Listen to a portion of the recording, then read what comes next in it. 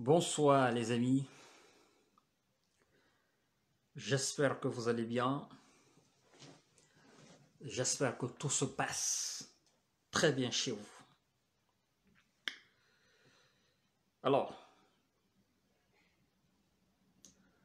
ce soir, je vais naturellement vous faire euh, en live. Je le suis déjà, qui n'est pas en débat. Aujourd'hui, c'est pas en débat. J'aimerais simplement, sincèrement, euh, saluer toutes ces personnes qui, matin, midi, soir, ne cessent de m'envoyer des messages d'encouragement, des messages d'admiration et tout autre. Je salue aussi sincèrement tout ce qui m'envoie des messages d'injures, des messages de moquerie et tout.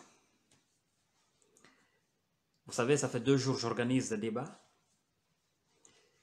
Il y a des gens qui ont appelé, qui ont pu appeler, d'autres n'ont pas pu appeler.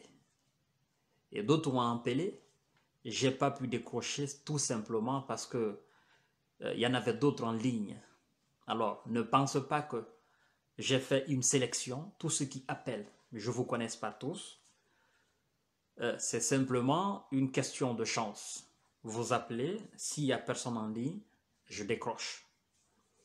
Ne pensez pas que je n'aime pas votre appel, parce qu'il y en a qui m'ont envoyé des SMS euh, en me disant, il y en a qui m'ont même envoyé des vocaux en me disant, euh, Monsieur Kanté, vous, vous avez refusé de prendre mon appel. C'est pas un refus de ma part. J'ai pas refusé. Euh, simplement que quand je lance comme ça les débats, il y a des centaines de personnes ou des dizaines même qui appellent à la fois. Donc, j'ai juste un téléphone. Ok, le téléphone qui est là. Je ne peux pas décrocher tous les appels à la fois. Donc, euh, je décroche euh, au fur et à mesure qu'il y a la place. Et donc, euh, je vous présente mes excuses, ceux qui n'ont pas pu intervenir. C'est un combat qui est continuel. Le combat, n'est pas fini. Nous continuons le combat. Je vais toujours organiser des débats afin qu'on puisse se donner des idées, des bonnes idées pour le développement de la Guinée, pour l'apaisement de la situation euh, de la situation géopolitique guinéenne. Alors vous partagez au maximum la vidéo. On va attendre au moins 200 personnes ou 250 avant de commencer euh, le sujet.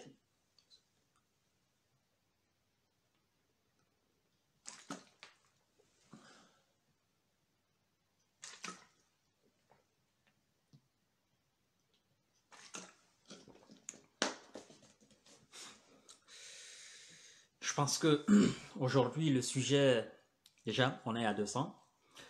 Le sujet, il est très important parce que tous les journalistes guinéens actuellement débattent la même chose, ou du moins la plupart. Et les, blogueurs aussi parlent la même chose, les personnes qui sont actuellement euh, sur la toile. Donc, je vous salue tous. Je peux pas... Euh, nous avons une sœur qui est là tous les jours euh, du nom de Kadiatou euh, voilà, Kadiatou Diallo. J'ai aussi euh, Paikon, euh, j'ai Tijanba, ok, je vous salue tous. j'ai hum, Kemoko, j'ai Abdoulaye Baldé, je vous salue tous. J'ai Gigi Mo, je vous salue tous. Je suis là africain, je vous salue. Abdoulaye Baldé, je vous salue. Bayo Alpha, big up à vous, je vous salue tous. Nous avons Ali Bongo, je vous salue mon cher. Voilà. Nous avons Alimou Diallo, salut à vous tous. Nous avons Tidjanba, salut également à vous, où que vous soyez, euh, à travers les quatre coins du globe. Alors, mes chers frères, on ne va pas retarder euh, le débat. Vous savez, j'ai un abonné qui m'a envoyé aujourd'hui un SMS. Ça m'a beaucoup fait rire. Parce que ce qu'il dit, au fait, c'est la vérité.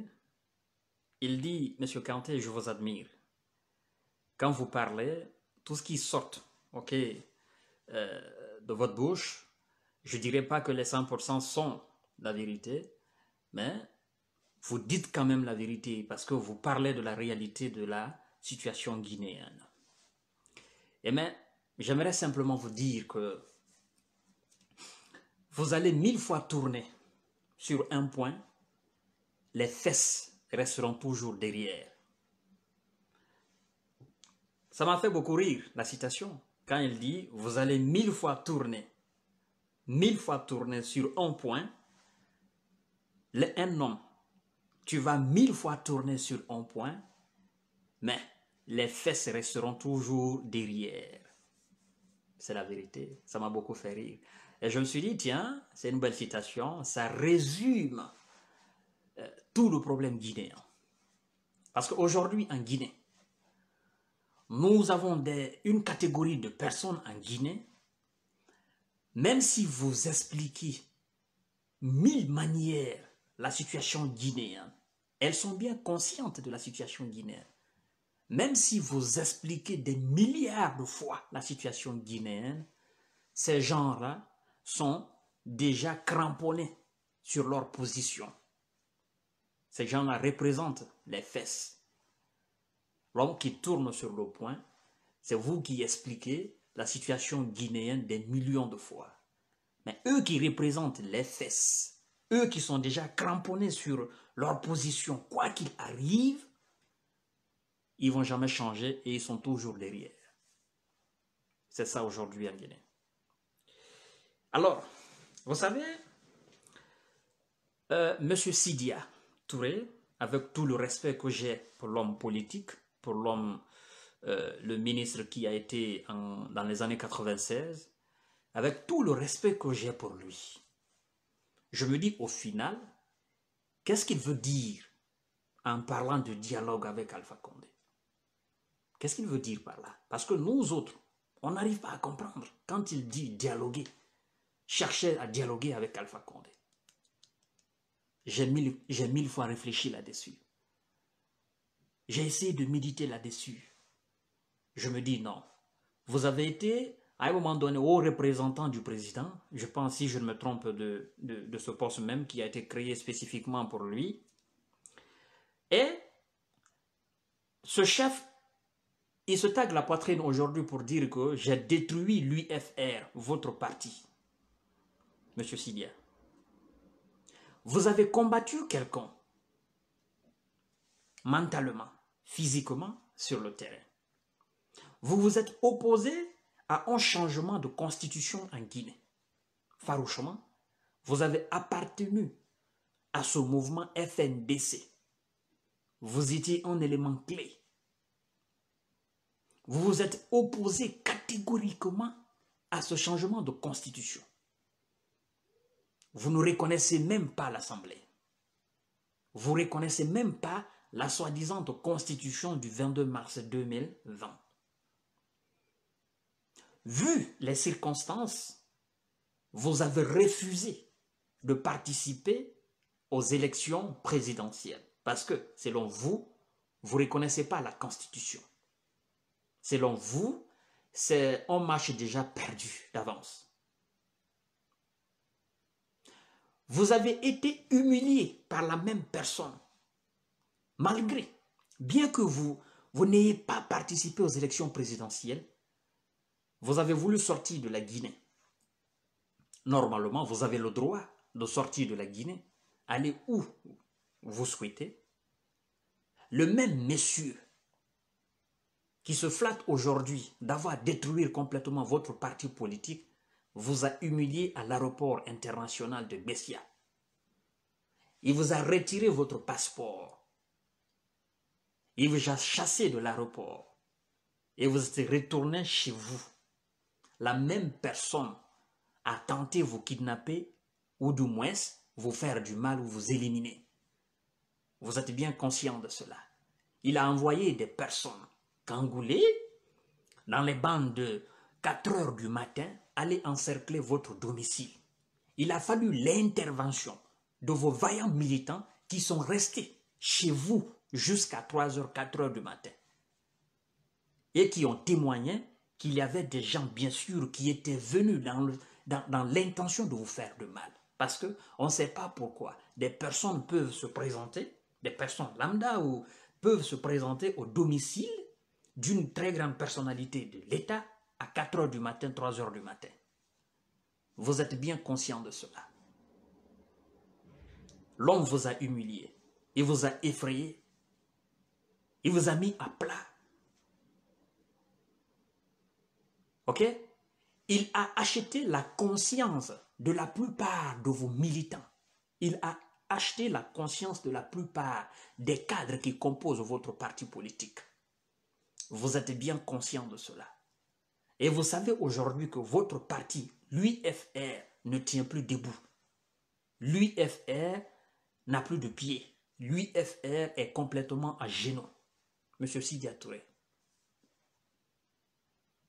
Alors, c'est vous qui cherchez aujourd'hui à communiquer, à dialoguer avec Alpha Condé.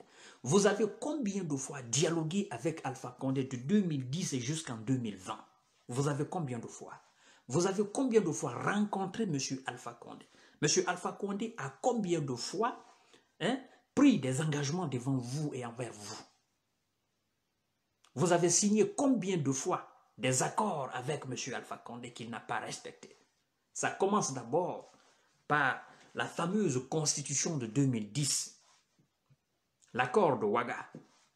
Vous étiez opposant, M. Selou était opposant, M. Alpha était opposant, M. Lansana était opposant. Vous aviez dit, vous aviez fait cette constitution en 2010, vous aviez dit que c'est lui qui sera élu président en 2010, que c'est ce dernier, dans les six mois qui suivent son élection, il doit soumettre au suffrage universel la constitution de 2010, c'est-à-dire que le peuple valide la constitution de 2010 dans les six mois qui suivent son élection. Non seulement Alpha, déjà président en 2010, il n'a pas soumis la constitution de 2010 au suffrage universel dans les six mois qui ont suivi son élection. Premier faux pas. Deuxièmement, vous n'avez pas dit qu'il doit changer la constitution.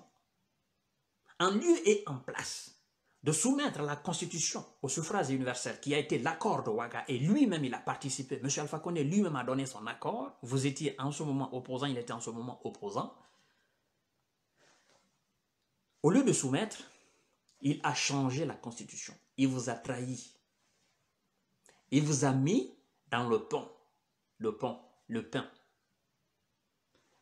C'est-à-dire que il a fait de vous une sorte de mayonnaise et vous a mis dans le pain. Il n'a pas changé lors de son premier mandat. Il n'a pas changé à la fin de son premier, premier mandat. Il n'a pas changé au début de son premier mandat. Mais il a changé à la fin de son deuxième mandat. Et vous êtes bien conscient de cela. Il y a eu un mouvement qu'on appelle l'FNDC qui s'est opposé à ce changement de constitution. Vous étiez élément. Vous avez signé combien d'accords avec lui? Vous avez dialogué, dialogué combien d'accords avec combien, combien d'engagements avec lui? Vous avez dialogué combien de fois avec ce monsieur-là? Est-ce qu'il a respecté ses accords, ses engagements? Aujourd'hui, c'est vous qui demandez le dialogue avec M. Alpha Condé. Au final, vous savez, je pense que les personnes les plus profanes en matière politique ne voient que euh, la face visible, la partie visible de l'iceberg. Mais ce qui est en dessous de la mer, les personnes les plus profanes sur la scène politique ne peuvent pas comprendre, ne peuvent pas analyser cela. Et c'est là le problème. C'est là tout se constitue. Ce que vous devez savoir, vous qui me suivez et vous qui partagez la vidéo, ce que vous devez savoir, quand M. Sidi Touré dit que ce dialogue n'a pas pour objectif d'obtenir un poste ministériel, je suis parfaitement d'accord avec lui. Mais combien on lui a proposé et combien il a déjà reçu? Il peut ne pas avoir un poste ministériel. Ils peuvent ne pas faire un deal concernant un poste ministériel, mais ils peuvent faire un deal d'argent. Ok, je vous propose ça. tel million, telle centaine de mille héros. Détachez-vous de ce groupe de FNDC, détachez-vous de ce monsieur CDD, demandez un dialogue. Essayez de s'aimer la panique. Qu'on se dise, ok, le chef de file de l'opposition, Silla Mamadou, officiellement, j'ai lu un article là-dessus qui a dit Monsieur Alpha Condé m'a invité, nous avons dîné, nous avons discuté de beaucoup de choses et surtout du dialogue. Mais ce qu'il faut retenir, c'est que si on doit avoir un dialogue avec Monsieur CDD, il faut qu'il reconnaisse d'abord la victoire d'Alpha Condé. Je vais revenir là-dessus. Je me dis, Monsieur Mahmoud Silla, il est là, Mamadou Silla est là, c'est la future lettre, qui a aujourd'hui un parti politique et qui est chef de file de l'opposition. Monsieur Sidia Touré est là. Tous aujourd'hui sont du côté de Monsieur Alpha Condé. Parce que qui dit demander un dialogue? Sidia ne peut pas euh, banalement, hasardement, demander un dialogue avec Alpha Condé. Il n'est pas fou. Il a fallu un deal entre eux. Il a reçu quelque chose. Ou bien on lui a promis quelque chose qui n'est pas égal à un poste ministériel, mais du liquide, de l'argent liquide. N'oubliez pas cela. Ceux qui disent aujourd'hui, non, c'est pour un poste ministériel. Il a dit que ce n'est pas, pour un poste ministériel. Mais il a reçu de l'argent liquide. Ils ont fait un deal. Il a reçu une très grande partie. Alors s'il arrive à convaincre CDD de s'ajouter à lui et de chercher un dialogue à M. Alpha Condé, on va lui donner la deuxième partie hein, du deal. C'est simplement ça. C'est ce que vous devez comprendre. Ce n'est pas un poste ministériel, il cherche. Il a déjà une partie, la grande moitié de l'argent qui lui a été proposé. Et la deuxième moitié, il aura cela quand il réussira de convaincre CDD et l'UFDG de se joindre à lui et de demander de s'asseoir sur une table de dialoguer avec Alpha Condé. C'est simplement ça. C'est la politique, vous devez comprendre. Et vous devez savoir pourquoi M. Sidia Touré a fait cela. Je vais vous, je vais vous démontrer ça par A plus B. Vous savez, M. Sidi Touré aujourd'hui n'a pas de militants en Guinée. S'il faut donner un pourcentage, M. Sidi Touré a combien de pourcentage, a combien de chances d'être président de la République? Organiser les élections présidentielles, même démocratiquement, sans tricher, sans frauder ni rien, qu'on fasse une élection véritable Sidi Touré a combien de pourcentage, à combien de pourcents pour être président de la République de Guinée? Je dirais, il n'a même pas 10%. Sincèrement. Parce que le peuple de Guinée est aujourd'hui majoritairement divisé entre le RPG arc-en-ciel et l'UFDG. L'UFR, dans le vrai sens du mot, n'existe pas. Sincèrement, n'existe pas. Alors, M. Sidi Touré, sachant très bien, ça a été le cas de M. Jean-Marie Doré. M. Jean-Marie Doré, père à son âme, a fait ce combat politique.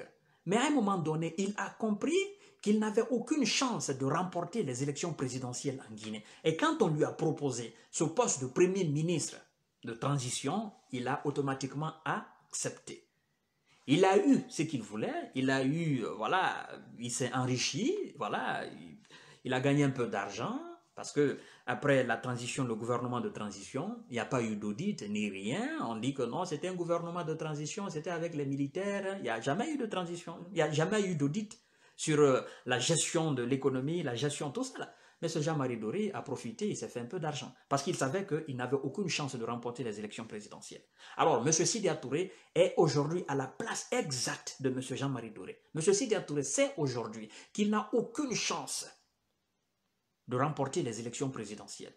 Même si M. Alpha Condé n'est plus à la tête de la Guinée, qu'on organise les élections présidentielles entre M. Sidia Touré et M. Euh, Alpha, M. Euh, CDD, M. Lansana Kouyaté, M. Sidia Touré, dans le vrai sens du mot, avec une élection réelle, crédible, transparente, je ne pense même pas s'il peut être deuxième. Il n'a aucune chance. C'est une manière pour lui de finir le reste de sa vie. Je pense qu'il est de 45, 1900, il est né en 1945 ou quoi que ce soit. Voilà, M. Chidia Touré sait pratiquement qu'il n'a aucune chance d'être président en République de Guinée. Alors, il va profiter de toute cette situation géopolitique de la Guinée. Quand il dit que son parti aujourd'hui est devenu un parti centriste, c'est-à-dire qu'un parti qui est au centre entre M. Alpha Condé, voilà, CDD ou euh, entre le peuple, moi je me dis, je comprends. On ne crée pas le parti politique pour être un parti centrique. On ne crée pas un parti politique pour être un parti qui sert à réconcilier euh, les gens quand il y a bamba. Non. Le premier objectif d'un parti politique et de son président, c'est de gagner les élections présidentielles, c'est de participer aux élections présidentielles et c'est d'être le président de la République. Mais quand un parti politique n'a plus de crédibilité, n'a plus de crédit, quand un chef, un président d'un parti n'a plus d'envergure, n'a plus de mots, n'a plus de notoriété, n'a plus de militants, il se joue à ce jeu euh, de chat et de la souris. Alors, M. Sidia Touré, je pense que c'est une manière pour lui de remplir sa poche. Alors, qu'est-ce qu'il faut faire maintenant dans toute cette, dans toute cette situation? Il demande dialogue. Alors, quand je parle de ce mot dialogue, ok Dialogue, on dit, dialogue c'est un mot composé. Ok? Dia qui est égal à, euh, travers, ok, qu'on appelle, c'est un mot grec, euh, travers, et logos c'est la parole. Donc, dialogue, c'est simplement le fait d'avoir une conversation avec une ou plusieurs personnes. Mais si on doit parler de ce dialogue en tant qu'âme et corps, en tant qu'entité. Le dialogue se fera entre Sidia et Alpha ou le dialogue se fera entre Alpha et CDD. Alpha ne cherche pas à dialoguer avec Sidia. C'est Sidia qui demande le dialogue. Sidia n'est pas le problème d'Alpha. Le problème d'Alpha, c'est CDD. Alpha, euh, Sidia sert simplement d'instrument de connexion entre CDD et Alpha. C'est tout simplement. Dans la tête d'Alpha, Sidia n'existe plus. L'UFR n'existe plus. Par contre, dans la tête d'Alpha, l'énigme qui le démange chaque fois dans la tête, l'énigme qui est devant lui, il cherche à résoudre, c'est CDD l'UFDG. Alors comment faire? Comment faire en réalité pour réduire ou comment faire pour attirer CDD dans son filet de pêche? Comment faire pour avoir, euh, pour créer une sorte de, paix entre euh, alpha et CTD Cydia n'est qu'un instrument aujourd'hui. Mais je pense bien que, vous savez, Alpha Blondie a chanté que le monde est devenu dur. Et que si le monde est devenu dur, il dit non, le monde n'est pas devenu dur. Il dit c'est les personnes bêtes qui sont devenues intelligentes.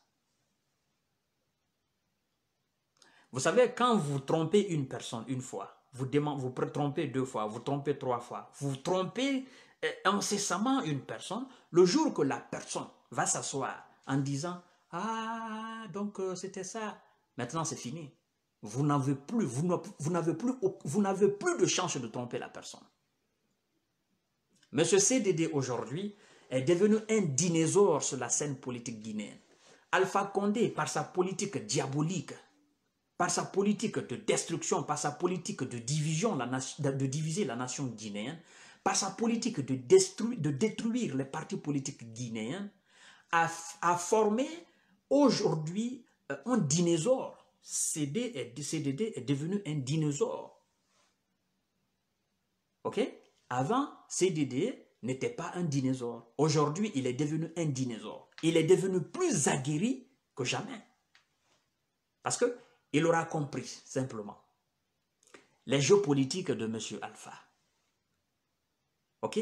Il a compris la gestion euh, catastrophique d'Alpha. Il a compris les politiques de destruction massive d'Alpha. Il a compris tous les petits jeux d'Alpha. Il a compris toutes les personnes qu'Alpha envoyait dans son parti politique pour l'espionner. Et en comprenant cela, il est devenu un homme très intelligent politiquement, un homme très méfiant politiquement, un homme très aguerri politiquement, un homme très averti politiquement. Vous savez, même les proches, les proches de CDD, aujourd'hui, ils se méfient de tout le monde. C'est la vérité. Même ses propres. C'est-à-dire, eh, disons, sa propre famille. Il se trompe, il se, il se, il se méfie de certaines personnes. Même sa propre famille. Il est devenu un homme très méfiant sur la scène politique. Très, très méfiant. Alors, c'est pourquoi aujourd'hui, M. Alpha Condé et M. Sidia Touré, M. Mamadou Silla, ils n'ont aucune chance d'attirer CDD dans leur filet. Aucune chance. Parce qu'ils ont un filet de pêche. Ils veulent l'attirer là-dedans. Mais ils n'ont aucune chance. En parlant de dialogue. Nous allons dialoguer autour de quoi et en quoi nous allons dialoguer. C'est la première question que CDD se pose. Si on doit dialoguer, le conditionnel, si on doit dialoguer, ce serait sur d'autres choses. Mais ce ne serait pas la politique. Alpha et moi, on ne va pas parler de politique.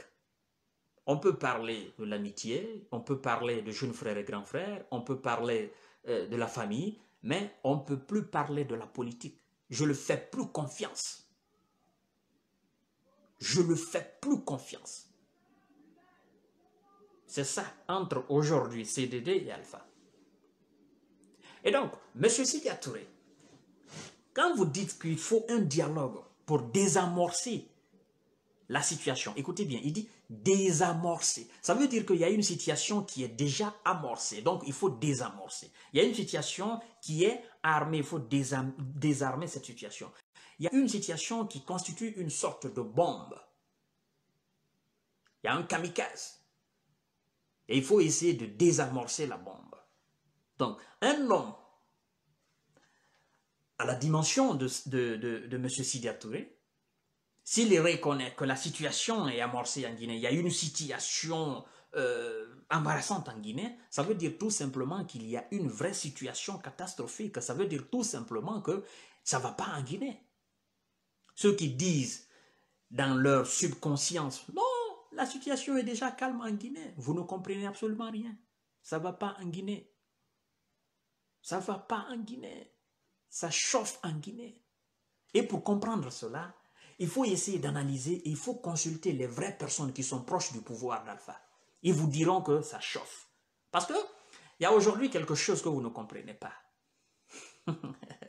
Pourquoi on veut que CDD reconnaisse coûte que coûte la victoire d'Alpha Moi, je dirais même pas victoire, mais l'autorité d'Alpha. Et s'il a dit qu'il reconnaît l'autorité d'Alpha, il n'a pas dit qu'il reconnaît la victoire. Reconnaître la victoire de quelqu'un et reconnaître son autorité, ça, fait deux choses. L'autorité est différente de la victoire. On peut reconnaître l'autorité, la dictature de quelqu'un. Et quand Cédide fait souvent ce discours, il dit la dictature qui est en place, c'est-à-dire qu'il est conscient de l'autorité, de l'abus de pouvoir qui est là. Ça, il est conscient de cela, il reconnaît cela. Mais cela est très différent de la victoire. Là, il ne parle pas de victoire. Et tous les Guinéens sont conscients aujourd'hui de l'autorité d'Alpha.